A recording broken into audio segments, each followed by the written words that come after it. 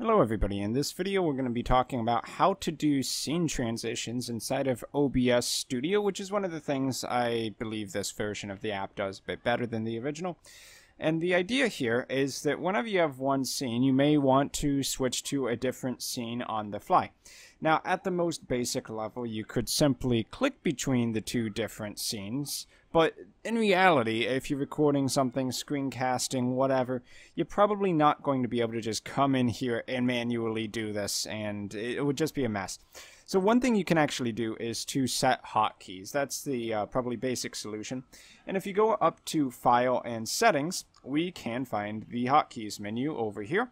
And you can see that for each scene you've set up, they will allow you to set three different hotkeys show image hide image and the one we're uh, actually looking for that's relevant to us.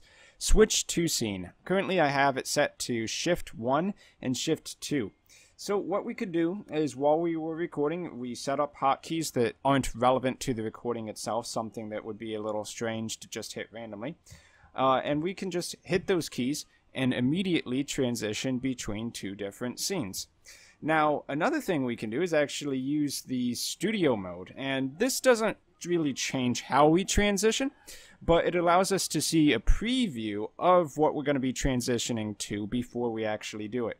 So whatever's on the right is what's currently showing in the video, and whatever's on the left is what we're going to transition to. So if we want to change what we're going to transition to, uh, while we're in studio mode, we just click on that scene, and we could hit transition, which will move that uh, the selected uh, transition target over to the right in the live mode and it puts whatever scene we had before back over here on the left where we can transition back to it again so that kind of thing would be useful if you're for instance going on a break mode if you were live streaming um, but you get the idea there. And then, of course, you can change the different uh, scene transitions. Basically, uh, cut and fade are the basic ideas. Cut is instant. Fade is going to transition over a period of time, which is the milliseconds amount. And uh, yeah, as you can see here, you can you don't have to actually select the scene transition in the bottom right. You can simply click between them. But the optimal way to do this, really, I do believe, is to have hotkeys set. You don't want to be looking at the OBS Studio interface unless, uh, for some reason, the person who's recording the video is also not the one managing OBS Studio. Like if you have a control room guy in the background, I mean, I don't think most people can have that level of a production, but uh, general idea there. Um, so yeah, set up hotkeys. That's my recommendation. And then you can simply switch between them uh, in non-studio mode by hitting shift 1 and shift 2 or you can go back into studio mode uh, the thing is though if you are in studio mode um, hitting the hotkeys will only queue up the transition. It won't actually put it live. So that's one thing to keep in mind. If you want to do the final transition you can hit the transition button there.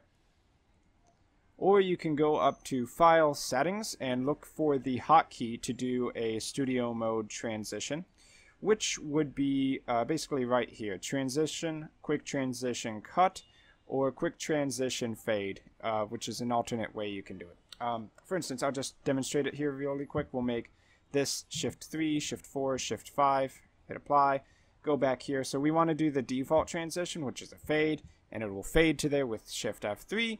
If we want to do, uh, we, we bound cut to shift 4, so we can do immediate cuts and we can also do a fade with F5 and we can also do a fade with shift 5 now shift 5 will always be a fade but shift 3 just a flat out transition that depends on what's selected down here in the bottom right for scene transitions so that's going to be all for this video on how to set up and use transitions inside of OBS Studio. I hope you found this helpful, and I'll see you in my next video.